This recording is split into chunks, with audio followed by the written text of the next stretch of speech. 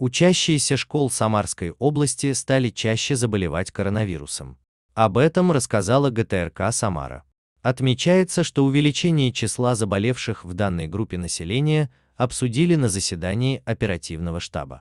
Согласно имеющимся данным, на 36-й неделе наблюдался рост числа случаев заболевания COVID-19 среди детей от 7 до 14 лет на 9,6% и среди подростков от 15 до 17 лет на 67,3%. В связи с наметившейся тенденцией к сезонному росту заболеваемости среди детей школьного и дошкольного возрастов, прошу Министерство образования региона вести мониторинг ситуации. И при необходимости вместе с Роспотребнадзором выработать рекомендации по режиму работы школ, заметил председатель правительства Самарской области Виктор Кудряшов.